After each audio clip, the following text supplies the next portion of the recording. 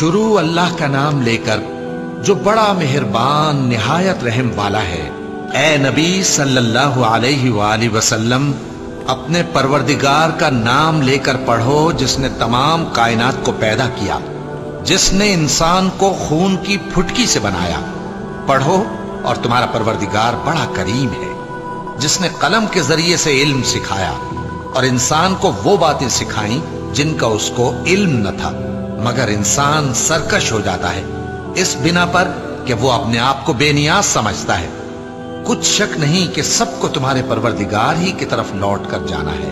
کیا تم نے اس شخص کو دیکھا جو منع کرتا ہے؟ یعنی ایک بندے کو جب وہ نماز پڑھنے لگتا ہے۔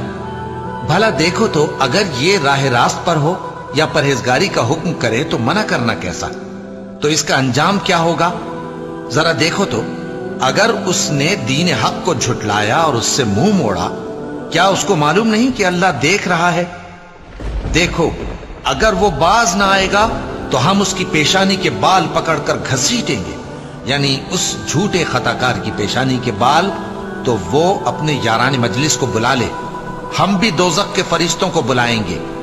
دیکھو، اس کا کہا نہ ماننا اور سجدہ کرنا اور اللہ کا قرب حاصل کرتے رہنا۔